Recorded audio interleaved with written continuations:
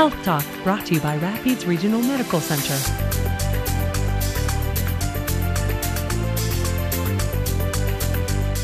When monthly cycles get out of hand with heavy bleeding, anemia, and painful cramping, some women limit their daily activities. Other women try a surgical solution. Endometrial ablation is a procedure that is used to control symptoms of heavy bleeding. Um, once other more serious causes have been excluded, um, sometimes we refer patients for that, which helps control bleeding and the symptoms that come along with that, such as cramping.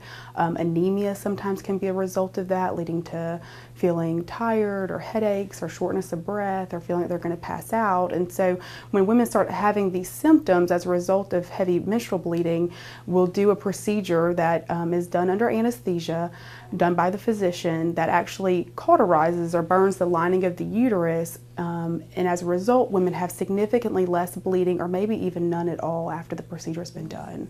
There are many techniques used in endometrial ablation, including radiofrequency, freezing, heated fluid, heated balloon, microwave energy, and electrosurgery.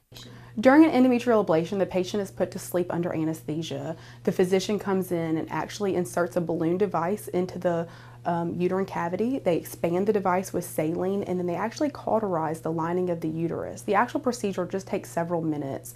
Um, patients recover very rapidly. The biggest thing is really just getting over the effects of the anesthesia.